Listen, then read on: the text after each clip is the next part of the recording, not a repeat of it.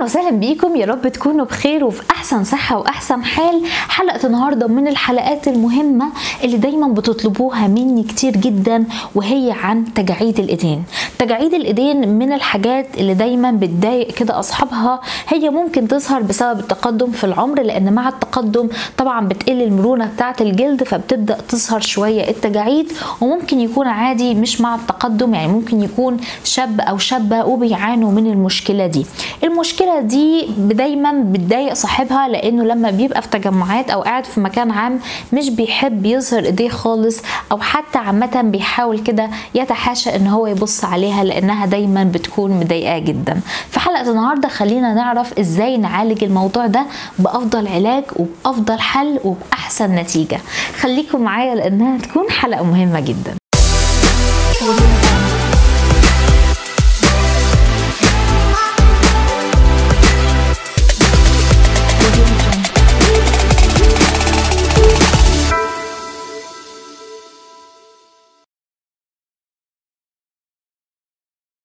قبل ما أكلمكم عن العناية بالإيدين والعلاج اللي إحنا هنستخدمه. خلينا نعرف إيه الأسباب اللي بتؤدي إلى ظهور التجاعيد على الإيدين. الحقيقة هم خمس أسباب. أول سبب فيهم زي ما قلنا هو التقدم في العمر.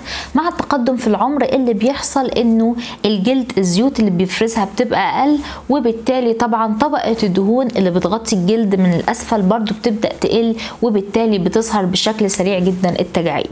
أما تاني سبب وهو التعرض لأشعة الشمس فوق البنفسجية الأشعة دي هي خطيرة جدا للبشرة خطيرة للجلد. ليه؟ لأنها بتخترق الجلد دايما بتدمر كل الكولاجين الموجود وبالتالي بتفقد الجلد مرونته وبتظهر التجاعيد بشكل أسرع. ثالث سبب وهو التدخين.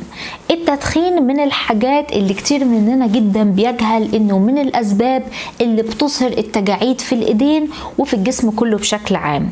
التدخين ليه تأثير على الكولاجين الموجود مش بس كده ده كمان بيقلل وصول الدم للجلد نفسه. رابع حاجة الجينات الوراثية. في ناس ممكن تكون لسه يعني صغيرة في السن لكن وارثه الموضوع ده واخداه كجينات من الآباء ومن الأجداد. اما خامس وآخر سبب وهو التعرض للملوثات. طبعا ده ممكن يكون بسبب إنه الجلد بيتعرض لبيئة مش نظيفة أو لهواء مش نظيف أو إن إحنا بناخد أدوية معينة أو بيحصل بشكل عام جفاف للجلد.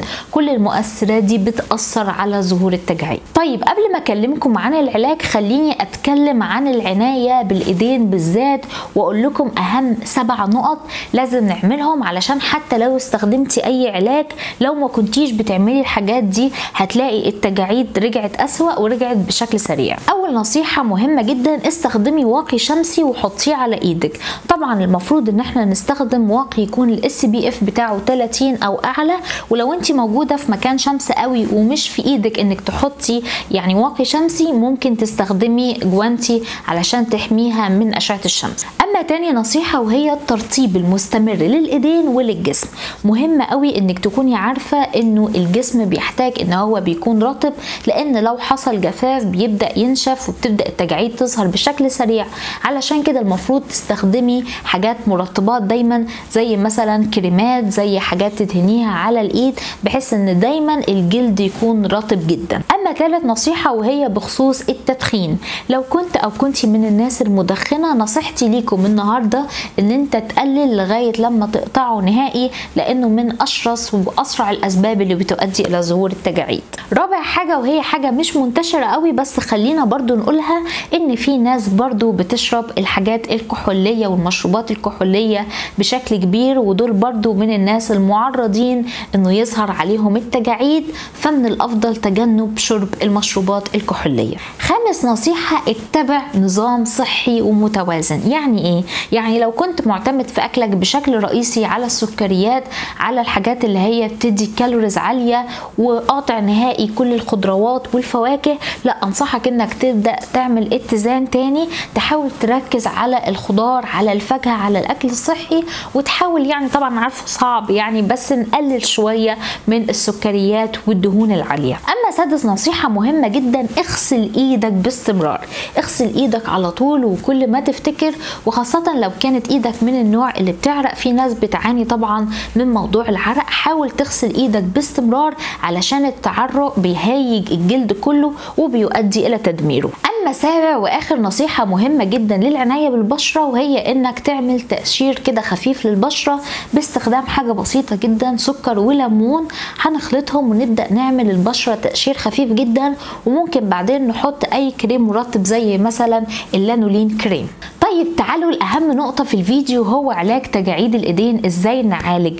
النهاردة هقول لكم على أربع حاجات اختاروا منها حاجة مناسبة ليكم وهي كلها حاجات بتستخدم في علاج موضوع التجاعيد. أول حل عندنا إن إحنا ممكن نستخدم كريمات لموضوع التجاعيد. طيب في نوعين من أنواع الكريمات. في الكريمات اللي بتحتوي على مادة الريتينول زي الريتينول بنفس الاسم أو ممكن نيتروجينا برضو كريم كويس جدا. تاني حاجة وهي الكريمات اللي بتحتوي على مادة الجليكوليك أسيد وطبعا الكريمات دي سواء هي أو كريمات الريتينول الاتنين بتحطيهم إزاي؟ بتحطيهم قبل النوم كل يوم مرة بالليل كل يوم تكرري نفس الموضوع وبالنسبة للأسماء والأسعار حاسبها لك في صندوق الوصف.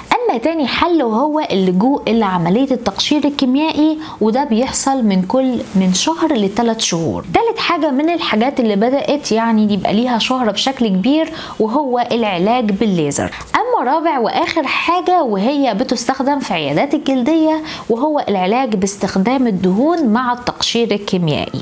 طبعا الأربع حلول دول برضو متاحين قدامكم بس أهم حاجة زي ما قلت لكم إن إحنا يعني يبقى في وقاية لأن بكل شكل الوقاية خير من العلاج ولو اتبعنا النصايح اللي أنا قلتها هيبقى بشكل أقل قوي ممكن نلجأ للأدوية أو ممكن نلجأ لكل العلاجات دي. في النهاية thanks for watching مبسوطة إن أنتوا كنتوا معايا في الفيديو ده وأتمنى تكونوا معايا في كل الفيديوهات الجاية. علشان كده لو عجبكم الفيديو ما تنسوش like subscribe في القناة وشاركوا الفيديو مع غيركم علشان أكبر عدد ممكن يستفاد.